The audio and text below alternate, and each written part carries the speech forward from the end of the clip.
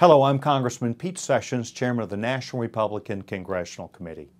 And I want to welcome you to our new website and to thank you for your continued support of our shared goal to retire Nancy Pelosi as Speaker of the House of Representatives. This new site has a cleaner design that will allow you to access all information that we have on our candidates and races across the country. You can easily look through our videos and ads.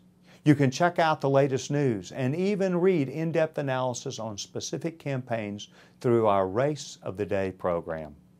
I would also urge you to check out our new Young Guns and Call to Arms sites which give you the opportunity to learn about the progress of specific candidates and volunteer your time to help this fall. As always, you can get access to breaking news by utilizing all of our network platforms Twitter, Facebook, email, and even your mobile phone. Our committee is here to provide you with the knowledge you will need to promote Republican values in the 2010 congressional elections. And I hope you'll take advantage of the resources we provide. Thanks again for visiting our site and supporting our party's growing momentum. I look forward to continuing to work together as we move from good to great to victory in November.